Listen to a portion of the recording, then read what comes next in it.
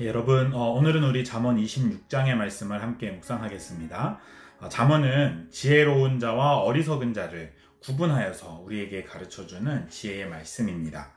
사실 우리는 죄로 인해서 지혜를 잃어버렸고 이미 어리석은 자가 되었습니다. 우리에게는 지혜 자체가 상실되어 있는 상태였죠. 그런데 우리 주님께서 우리에게 찾아오셔서 우리를 구원하여 주시고 우리의 지혜의 눈을 열어 주시고 우리의 지혜가 되어 주셨습니다.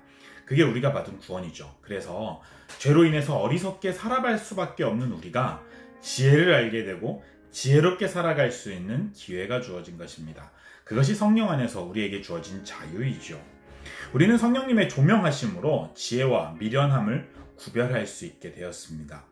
오늘 잠언 26장은 우리에게 어, 미련한 자가 어떤 자인지 미련한 자의 특징을 가르쳐 줍니다. 이 말씀을 통하여서 우리가 경계해야 할 미련한 자의 특징이 무엇인지 함께 기억하고 어, 미련을 버리고 지혜 삶을 살아갈 수 있는 어, 저와 여러분이 되기를 소망합니다. 첫째로 미련한 자는 지혜의 말을 깨닫지 못합니다.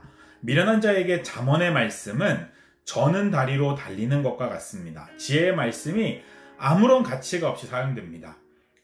구원받지 못한 사람들, 영적인 눈이 열리지 않은 사람들에게 하나님을 가르쳐 준다고 하더라도 지혜의 말씀을 아무리 가르쳐 준다고 하더라도 그들은 깨닫지 못합니다. 그래서 미련한 자에게는 지혜를 가르치지 말라고 성경은 말합니다. 오늘 잠언 26장은 이렇게 말해요. 미련한 자가 질문하거든 대답하지 말고 혹시 대답하거든 그 미련한 자의 수준에서 대답하라는 거죠. 미련한 자와 언쟁을 벌이는 것, 미련한 자와 옳고 그름을 따지는 것만큼 어리석은 것이 없다라는 겁니다. 두 번째로 미련한 자는 스스로를 지혜롭다고 여깁니다. 자신을 스스로 지혜롭다고 여기는 자가 가장 미련한 자입니다. 그런 자를 성경은 멀리 하라고 얘기하죠. 세상에서 자기 스스로를 지혜롭다고 여기는 사람들은 온갖 싸움에 참견을 합니다. 온갖 남의 일에 참견을 하죠. 그리고 그 남의 일을 참견해서 자신의 미련함을 드러낼 뿐입니다. 남의 싸움에 끼어드는 것은 미련한 것입니다.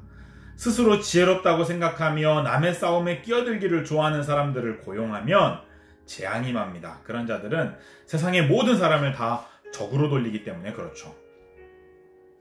세 번째로 미련한 자는 게으릅니다. 세상에서 게으른 사람은 미련한 사람입니다. 게으른 자는 침상을 맴돌면서 어떠한 도전도 하지 않습니다. 일어나지도 않을 일들을 걱정하면서 정작 아무것도 하지 않습니다. 길거리에 사자가 있다라고 말하면서 침상에만 머물러 있는 것이 미련하고 게으른 자들이죠. 성경은 이런 자들을 악하다고 말하며 미련하다고 말합니다. 마지막으로 미련한 자는 남을 헐뜯는 말을 잘하는 사람입니다. 미련한 자는 다른 사람을 속이고 희롱하고 그러면서 사람들이 분노하면 어, 농담이었다고 말합니다. 자신의 말을 함부로 내뱉으면서 그 말에 대한 책임을 질 줄 모릅니다. 그런 사람들은 사람을 잃어버리죠. 그게 미련함입니다. 남의 말하기를 좋아하는 자의 말. 우리가 다른 사람을 욕하면요. 서로 어떤 다른 사람을 욕하면서 친구가 되기도 하잖아요. 사실 우리가 함께 만나, 어떤 사람과 함께 만나서 다른 사람을, 어, 말할 때에 그 말은 듣기도 좋기도 합니다. 그리고, 어, 서로 함께 공동의 적을 향해서 비난하는 것은 때로는 서로를 더 끈끈하게 만드는 일이기도 해요. 이 죄인 세상에서는요. 그러나 남의 말하기를 좋아하는 그런 말들은요. 사람을 파멸로 몰아가는 말입니다. 마음에는 미움이 가득하면서 겉으로는 듣기 좋은 말을 하는 사람도 아, 미련한 사람입니다. 마음속에 감추어준 악은 오래 숨길 수 없습니다. 다 드러나기 때문에 그렇죠. 사랑하는 여러분, 이런 미련한 자의 모습은 사실 우리의 모습입니다. 하나님의 말씀 우리 스스로 깨닫지 못하고 스스로 지혜 있다고 생각하면서 어, 우리 생각대로 판단하고 결정하고 우리 생각대로 다른 사람도 판단하고 결정하며 함부로 남의 싸움에 끼어드는 모습이 미련한 우리의 모습이지 않습니까? 본능적으로 게으르고 본능적으로 남의 말하기 좋아하는 것이 우리 모습입니다. 이런 삶이 미련한 삶이라는 것을 깨닫는 것이 지혜입니다. 그것이 은혜이고 그것이 하나님께서 우리를 구원하시는 시작입니다.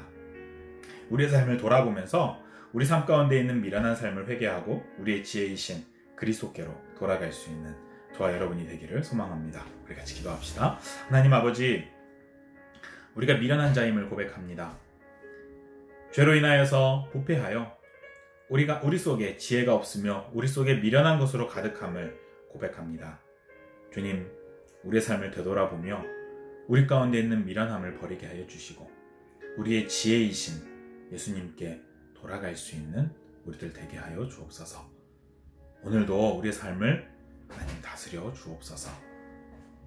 우리의 지혜가 되어 주신 우리 예수님을 찬양합니다. 거룩하신 예수님의 이름으로 기도합니다. 아멘.